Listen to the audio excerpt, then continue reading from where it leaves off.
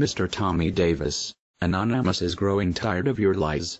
Ever since you first opened your mouth on CNN in the interview with John Roberts, you have lied through your teeth. You claimed that Anonymous were terrorists, and that we were sending death threats. This was a fabrication, as was revealed by the interviewer himself. You knew full well that the FBI did not suspect Anonymous of the non-existent threats, and yet you attempted to spin a fairy tale anyway, on live television. Your own ineptitude drew your pitiful representation of the cult of Scientology into the spotlight again, as it is going to again, today, right now.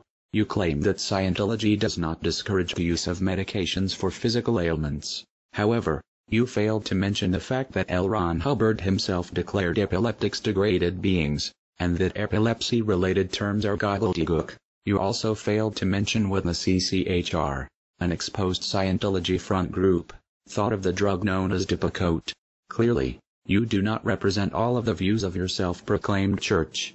Anonymous also finds it rather humorous that you now reverse the claims that the ritual known as the Purification Rundown were secular programs, and now refer to them as spiritual activities. The fact that you are now changing your arguments, while attempting to sweep the old argument under the rug, only consolidates your absolute incompetence as a spokesman. Anonymous encourages you to continue to follow the failed tech in your press releases. With each lie you tell, with every contradiction that you make, with every word that escapes your lips, you dig yet another foot into your already unfathomably deep hole. Anonymous welcomes this, for in these conditions, defeat is impossible. Mr. Davis, you are the cancer that is killing the cult of Scientology. Anonymous will take this time to fully expose the findings of the cult to the entire world. Welcome to our stage Tommy.